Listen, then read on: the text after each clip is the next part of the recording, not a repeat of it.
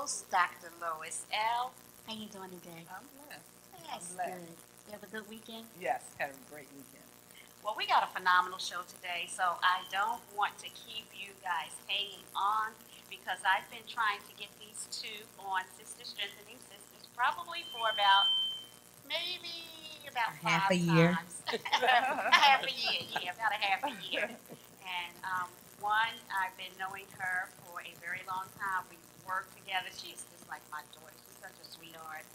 And she is Danielle, and her friend is Kellie, and they're doing some phenomenal things in Atlantic City. I did get to read the article. Um, they're working along with the young people, and they're going to tell you about what it is that they do and how all this came about. So let's welcome Kellie, Kellie, and Danielle. See, it took so long to get them here. Now everything want to mess up. Hello, how's everybody this evening? Good, good. So now tell us, first start from the beginning of how all this came in. Tell them the name of your pro, your show. Your The name of my program is uh, Peace Amongst Youth, Mm-hmm. and we were founded in um, 2016 Mm-hmm. after the death of my nephew. Okay. Um, originally, my my son was murdered um, in 2012 at the age of 13 Wow. in Pleasantville, New Jersey, due to gun violence. And through that time, it was a transition that I wouldn't wish on anybody, I guess, Right. you know. And um, it was like I was in a place all by myself for a while. And then through social media, through the Facebook, you start seeing, I started seeing my girlfriends or friends of my sisters where it was like a domino effect of them losing their babies to gun violence. Wow. Every time you turned on the TV, every time you got Yes. online, it was mm-hmm. just one after the next after the next. And then years later, you would see that they were still so angry. Yes. Oh, you know, the anniversary of their loved one's death day or the anniversary of their birthdays or special occasions, they were still holding in so much anger and animosity. Mm-hmm. So one day I said, you know, maybe we could do something as a whole, you know, mm-hmm. find a, a safe haven where, as crime survivors, we can come and meet at a central Right. location and we can share our stories and not have fear of judgment or, you know, just mm-hmm. different things that you feel once you Right. um, Right. Murder is something different. You know, I've been mm-hmm. experienced by death. Unfortunately, I'm like almost the last one alive in my family as far as elders. Wow. So from my grandmother to she lived till she was 99. She just went to sleep Oh, and never woke up one day. amen. To my sister passing of a illness. Uh, she mm-hmm. passed of lupus and the complications of that. To my uncle just living of old age but not wanting to live right. So his mm-hmm. choices caused his death. You know, so my purpose of saying that is death comes in different ways. Yes. Right. You know, Yes. Mm-hmm. but when someone is taken from you in a tra- traumatic way like that, Right. it's a Right. Different feeling. because nobody expects that. They understand, you know, age, and it's going to happen eventually because of your age, or maybe even because of a sickness or something. But when it comes, you know, by gun violence, you know, I had a nephew, um, bless his soul, Vaughn Rollins, Oh, who was baby. killed in um, Venice Park. You know, ni- nicest young man. You know, people loved him. He friends all over, and it just seemed like, like you said, the youth are still angry, Mhm. and something has to be done to take away this anger. But they also have to know that shooting each other is not the key Not you know, because it's now it's starting to happen more often, and it's starting to happen with younger Yes. children. You know, before you would hear 18, 19, maybe Mhm. 20, 21, but no, now it's even younger. 15, 16, yes. And Danielle, I know that you have experience. You had experienced the same thing with your son. Yes, Kellie and I both uh, were cousins, uh, and we have both experienced Mm-hmm. the same tragedy. Mhm. She lost her son. I lost my son, And when I lost my son in 2016, he was 17 years old. Uh, he was shot at a party. Um, his assailant still unknown. Mm-hmm. Here we are, almost three years later, Right. which is gut wrenching, heart wrenching as well. Mm-hmm. To live every day to still not have any closure. Right. Right. um, we just came together. She said, You know what? When she touched my son's casket, she said, Nephew, I'm going to do something about this. Mm-hmm. Even though we're cousins, we're still like sisters. Right. Right. We've been together for 30 plus years.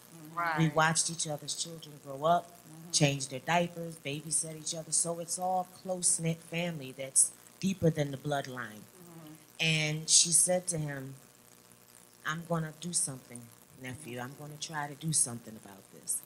And we, we've been doing a lot of research, and she's been doing a lot of investigation. We're doing a lot of reading, and the things that we're finding out that majority do not have our children, our youth. They do not have their best interests at heart. Exactly. And Kellie said we need to change laws. Mm-hmm. That's have right. to start with changing the laws because they're not put in place to help or save our young adults, our young boys, our young men, And even make- the young women as well. Starting to get And with- it's too easy for a young person to get a gun. Yeah, It's easier than getting a gallon of milk. it is. And- It How that's can you sad. how can you get your hands on a handgun quicker than you can go to the store and buy a gallon of milk? You go to the store and there's no milk in the store, but they can get a hold of a gun. Right. And when we were growing up in the 80s, I'm an 80s baby, I'm a 70s baby, but an 80s growing up baby, we fought with our hands. Yeah, we did. exactly. There wasn't any weapons. Um, Right. That's right. so and to then say. after you fought, y'all became friends. We were friends, we played like that. together right Exactly. afterwards. We were yeah. just right back together again, and like nothing ever happened. But these days, a lot of these children, they come from broken homes, as we know. Um, I, I, you know, I, a lot of people are always saying, you know, it starts at home. Mm-hmm. Okay, maybe I'll give you half, mm-hmm. five out of ten of that, because her and I fought tooth and nail with our babies. Mm-hmm. She even went as far as going out and snatching her son out of the street, get in the house. But they sneak out of the windows. They have people calling them, hey, there's a party tonight, come on, let's go. right. We are not their only influence Exactly. at the end of the day. Exactly. And we try, as much as we try to be strong black women, we try to be strong mothers, single mothers. Mm-hmm. And yeah, the fathers are sparingly in between, mm-hmm. few and far, which they could be more involved Right. in their lives. Right. But we do double the work, mm-hmm. and it doesn't always start at home. No. I would like to correct people on that. You cannot always blame right. the home life. Exactly. These children grew up in beautiful homes. Right. They right. had every game, every, and then maybe that's the reason why. Maybe we should have took some things from them. Yes, yes. If And we would have went the you- opposite You way, have always been a hard worker. exactly. Ever since I known you, so Beautiful birthday parties, right. outings, family events, everything. Maybe And we give them too much today. That's what I mean. They're spoiled. They- Yeah. What do they say? Spare the child. You know. Yeah, it- it- yeah, spare the rod. Spare the rod, rod There it Yeah. is. Yes. Yeah. I You mean, know- we give them a little too much where they look at us as if you're supposed to give it to me. Right, You're right. supposed to get. I'm supposed to have this game. I'm Maybe you supposed need to to have earn these that sneakers. game. Right. Maybe you need to earn those three hundred and fifty dollar Exactly. sneakers. Because if I'm not wearing pair three hundred and fifty dollar Right. sneakers, you're not getting no three hundred and fifty Exactly. dollar pair of sneakers. Where we just gave, you know. Yeah. So I, we fought tooth and nail, blood, sweat, and tears with our children. Mm-hmm. I talked with her child when he was in trouble. She talked with mine. There was outsiders, community leaders, church. Everybody came. So why do they go this route? Is the question. Right, why do they feel like outside is where they need to be, or what they need to experience? Why? Why? That's Yes, you know, and you really, because we read about it every day, and I did too, but you really don't understand it until it hits home. Now, in 2014, we lost my nephew to um, gun violence, my 22 year old nephew. He was shot nine times in Atlantic City, Ken, uh, Kenny Sandroff. Uh, and he was shot in Atlantic City. And I remember when I got the call from my sister, and I was actually sitting on my bed praying when this happened. And I got that call. And I remember, you know, I think I was just numb. You know, I got up, got in my car, I went down to the police station because I said, I can't go to the crime scene. I can't see him laying out there like that. I just can't see that. So I went down to the police station. But, you know, I remember thinking, you know, what mentality is it just to take somebody's life? And, you know, whoever shot him, obviously they meant to kill him because he was shot nine times in his chest. You want to, you want them dead. Well, I know I was going to get to that. You know, you get angry about it, and then I said, God, now I can actually feel what these mothers feel. Even though it was not my son, it was my nephew. Close you know, enough. it was my brother's son. Close enough. And a few months later, the young one of the young men that did this, they found his body. I remember my sister coming in the room with the article, and she said, "Well, justice." I said, "No, that is not justice because you got to break the cycle. The That's cycle. right. You No know, one's killing winning. this No- young this point, man did not make me feel better. Right. And I know it did not make That's his just mother feel family. better. Mhm. You know, now this is another mother that has lost her Another son. family, yes. You know, And with unfortunately, grief. Right. maybe another child that lost their father. Father, Mhm. right, That's You right. Because my. So it's yeah, my nephew had three children Mhm. that will never Wow. know him because they were too young. well. So, you know, it's- how do you break that cycle? Right. right. what a And small maybe we world need this to get is. together some of Because those Man ones that are Man, involved. not to cut you off, Man Man is the reason why I started. Okay. Broken hearted due to gun violence.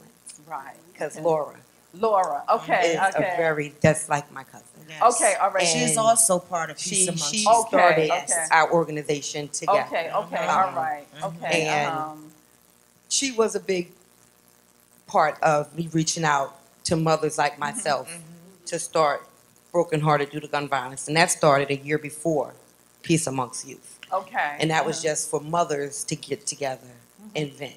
Because, see, they offer counseling services. They offer, not saying that it's not out there, because it is. Mhm. They have the alcove, they have family services, they have different outlets for you to go to. But it's hard for a crime survivor to go there and say, my son was murdered. Right. When you're in a room full of people that may have died of cancer, Yeah, Right. of, of old Yes. age, you know, to Right. be that not the same. one person in a room, it's Mhm. like you're in a room full of people, but you're all alone.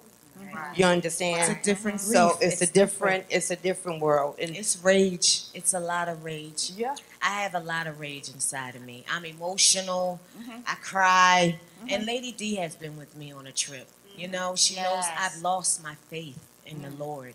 Mhm. When my son passed, this is a child that I carried, and I have three other boys, Mhm. but I carried him. I birthed him. I raised him. I tried to keep him together, and then he was taken away from me. Why, Lord? Why? Right. And I question this over and over and over again. And then you think about it. I know the one of the young men that killed my nephew. They showed up at the funeral, and you know, and I said, God, how can these young people be so cold-blooded like that? To think like that? You know, does he realize you took a life? You mm-hmm. took somebody he's never going to come back. Mm-hmm. You know, he he'll never have the opportunity to be whatever he wanted to be. I mean, it was just the arrogance. You know what I mean? Sending emails, yeah, I shot that, you know what? And I said, Lord have mercy, boy. These kids It's are so different. Like You it's, so like it's nothing different. to take a life. Like it was nothing, you know what I mean? Following um Lori around, the, you know, the store and things like that. And I said, God, we have got to change their mentality. Yes, and that's what You we're know? all about. That's what Peace Amongst Youth is all about. I seen Yeah. you guys out the other day. What was that all about? Um, the uh, newspaper article. showing support, showing support. Um, young lady was um, murdered last week, That's the young 15 lady. years old. Yeah, years yeah, I, old. re- I read about And, that. um, Why? Yes. For what reason? We still, we don't have a clue why Yeah. these babies are doing what they're doing, but we're trying to figure it out. Right. You understand? Mhm. Like for, we can't think for them as adults. Right, right. You know, so it's time. They're just so tired of so many empty promises. Right. Right. You know, it's hard to get them in the building to even express what they feel. Mm-hmm. You know, that's what that to was. get that's what, I what was they gonna need. say. You understand? Like a big purpose of my organization is to bring awareness. Right. Because my thing is awareness equals change. Right. You know, when my boys were getting in trouble, I would reach out for help and I would be told there's no funding. Programs are shut down. Right. Da da da da da. And I would take it for face value. okay, they say it's no funding, they say it's no programs. But the more I started looking into things, I started finding out, wait, there's millions out here. There's money out here. It's just a matter of us being able to collaborate together to go get it. Right. You understand? Our babies are dying, and all you see is GoFundMe accounts. Yeah. There's compensation for these families out here. It's called victims' compensation. It's been established since 1971. Right. But when my son was murdered in 2012, I don't recall being offered that. And if I was offered it, based on the qualifications and the regulations to receive those funds, I would not have been awarded mm-hmm. the funding. What I'm finding out is even though these services are available, we don't know about them in Right. our urban, low-income colored communities. Right. And then once we find out about them, we're denied because it's so much red tape that we don't qualify for the services. And then what happens is the money that is allowed it for our communities, when we don't go for it, it's sent other places. Places, yes. You understand? So that's a big part of also what we do is we bring awareness to what's out there for us. We're working on changing policies. We're working on changing le- legislation. We- I was just in um, Trenton in October, uh, Bill S four ninety eight, which deals with victims' comp to change what what defines a victim, and to change some of the way the laws are put in place now, so that more funding and finances can come to our communities and to our babies to get the help that we need. You know, because we can pray all we want, Right. but if there's no action behind that prayer, Exactly. that you know, it prayer can only go so far with no action to work with it. That's You understand right. what I'm saying? Right. And you need funding to do so. Everything's at a cost. I can't tell you how many places I went to get help, but because we are because of our income bracket, they don't they don't want to invest. They think it's just like a waste to, in their minds. But our babies are dying and our families are distraught. You understand? They want to diagnose our youth with ADHD. They're not going. Mm-mm. Try PTSD. Try a five-year-old's brother, even maybe not murder, but just being incarcerated.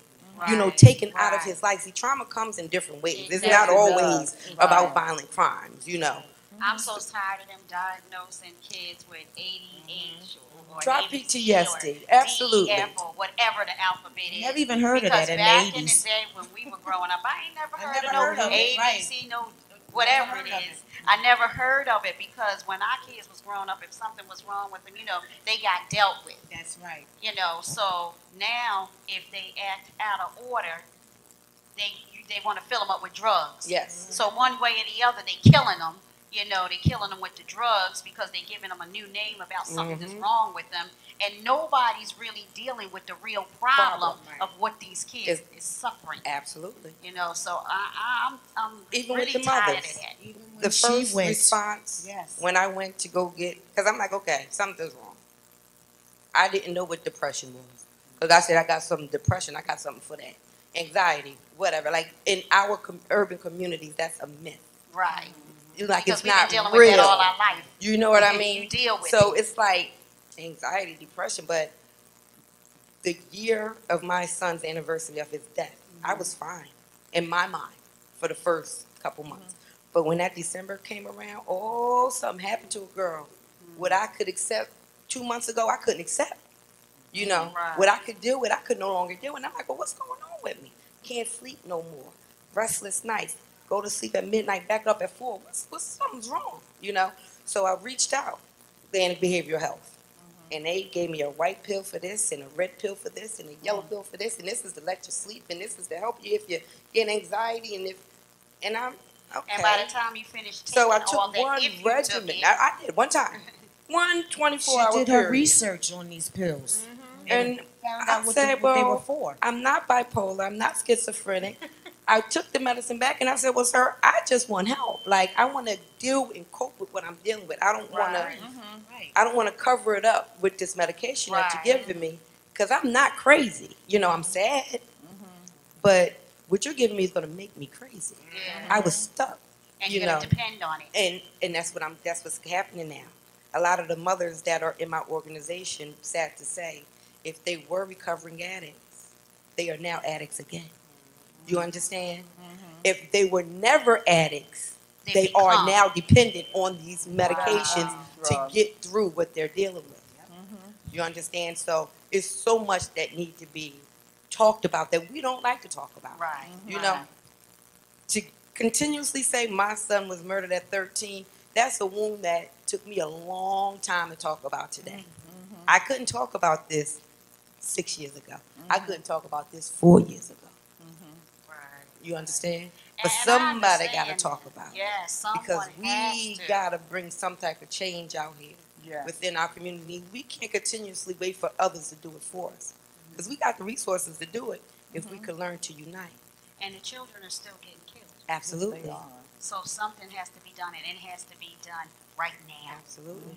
You know, uh, uh, we can't even wait no longer Mm-mm. because this. How old was the young lady? Was 15 years old. Yes. And that was what a couple of days ago. Yep. Just last week. By an 18 year old. And look at the babies that's going to jail for the rest of their lives for Yes. murder. That So it's a a double-edged it's, it's a sword. double edged sword at the Mhm. end of the day. You lose Mhm. a life and then you give a life, so Right. to Right. say. Right. Because you're giving a life away to the state Exactly. Right. for the rest of their lives. And it's, it's, it's torment everywhere. It's, Right. just, it's, it's just torment.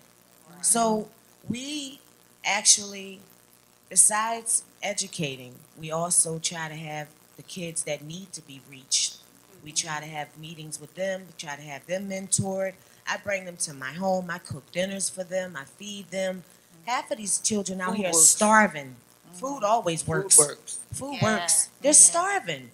They're, Wow. they're surviving off a quarter bag of chips and a dollar pizza at the Arab store, at these Indians who are getting rich off our babies, these mm-hmm. Bangladesh, Pakistan. Right. They come into our community, they buy a store, and then they're selling our children cigarette loosies, cigarillos, the cigars, and nothing nutritious. But you can't go in there and get a gallon of milk. There's no milk in there. If it is in there, it's, it's uh, expired. It's outdated. Right. Right. You know, and they're also poisoning our children. They let them stand outside the stores. They let them do nothing, just hanging around. Do something. They're not doing nothing. they're not doing well. You, Right. yeah, but what you I know mean, they're up yeah. to no Right. good. You Yeah. Yeah. And it's sad, you know. Our communities were never like that. We had black-owned stores growing up. I remember Exactly. Shabazz and Yes. the Inlet, Shabazz. I, I grew up in the Inlet. pie. Yes, the yes. We, you know, we had real family-oriented on stores. It was mm-hmm. just a whole different world then. I don't know what happened. You but- know, we had, I can remember growing up, we had a lot of programs for the youth. Right. I was involved in one when I was in high school away. called Upward Bound. Yes, I the Upward Upward Bound Bound in Lansing High program. Yes, Right. So the programs that they need, you know, the Mhm. activities that they need, there aren't there. They took They everything need away. They even Programs took that music are really away. focused to help our youth. Yes. that's Now what I there's programs out there, Yes. Ms. yeah. Dr. Lois. It's, but are they To help to our. really help them, or Right. is it just a facade for the moment for the funding that's available, Available, Right. right. that's connected to us? There's a whole Mhm. difference That's to that, that. That's what we because the programs are there, but Mhm. we need effective programs. We need Right. people that really genuinely want to reach and save our babies, Mhm. Right. and it not be a paycheck at the end of the day. Exactly. Right. Uh, people that love our kids. Yes. You know, that want to do something for them, that want to help them, that want to see them grow, that want to see them in a, uh, you know, know, know that when they go to school, that they're going to learn something mm-hmm. instead of them, like you said, a paycheck or just coming and, and whatever, y'all do whatever. I have a 14 year old, okay? Mm-hmm. Um, mine was also a double edged sword when my son was murdered. It happened on my 12 year old's birthday. Oh. So for the rest of his life, Yeah, he hates his it's birthday. my, he, he, my son just told me last night, Mom, I'm atheist. I said, Oh, What do you mean? He, he said, Mom, I don't believe in God. What do you mean? He's like, I'm bad luck. He said, How is God going to take my brother on my birthday? Oh. He feels like he's bad luck. How do you deal with this? Yeah. You know, this is an everyday thing. I mean, we're talking 2016 this happened, 2012 when that happened, but this is every day. Yeah. You may say Right. it's six years ago. You may say it's three years. But Are you kidding me? every day. Every day. Change shoes with me. Right, Put on my shoes. Let me wear yours. You wear mine, and then you tell me. Yeah. right. It's horrible. Yeah. Mm-hmm. But it, it starts with awareness. It starts with voting. Mm-hmm. It starts with demanding the change that's out there. Mm-hmm. Um, I was never big in voting. We are now. Just from the city politics from growing up as a kid, which is a Right. sad thing. And me hearing, oh, it's empty lies, da da da da. So I never really focused on um, mayor elections, freeholders elections, assembly mm, elections. Like those little small elections matter. Exactly. You know, those people really control and have a lot of say of Over what's what going on in our community. Yes. Like that 2020 census, baby. Mhm. We got to get on board for that. You understand? and- But a lot of our people are afraid because of backgrounds and Right. charges and things of that nature, which if we don't be accounted for, our housing is going to be affected, That's right. our education is going to be affected, mm-hmm. the Section 8, the food stamps, all that stuff that we Assistance, receive, the assistance. assistance, yes. If we are not accounted for, all of that stuff will be taken away from us Yes. slowly but surely, mm-hmm. and it's happening.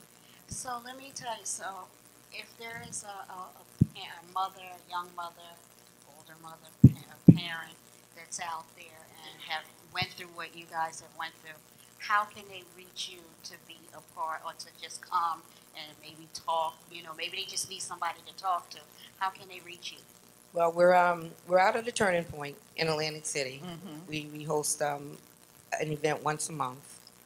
Um, other than that, we're on Facebook. We're on all the social media networks, and we also have a, a website, paymovingforward.com. Okay. So um, yeah, And it's called Pain.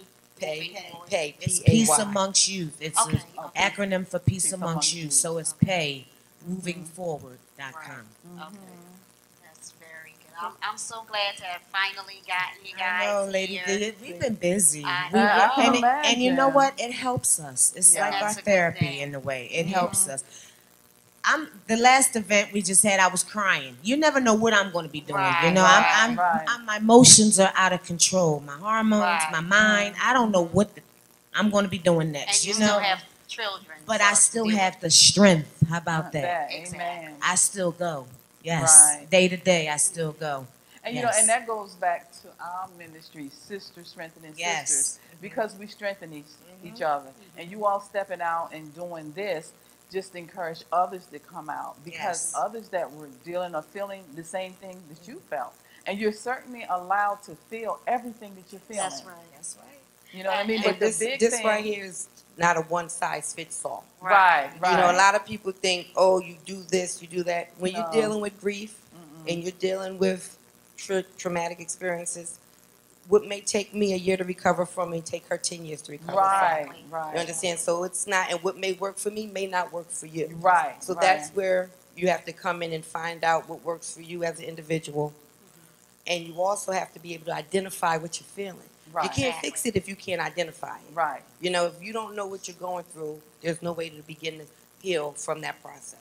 Right, and, and you all there to tell them that it's okay to feel what you're feeling. Exactly. Because I will say it again, until that happened to my nephew, I would look at it and say, oh, my heart breaks.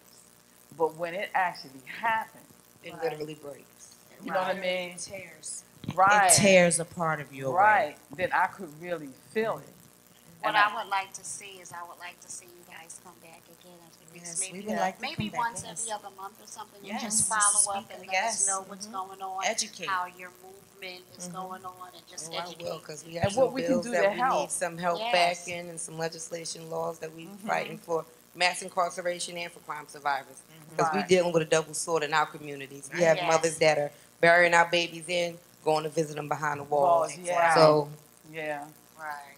definitely. I certainly am happy to have had you two Thank to you, come Lady on D. here Thank to you, Dr. talk Lois. Thank about you. your story, such Yeah. a you know amazing story for two young women to have had to go through.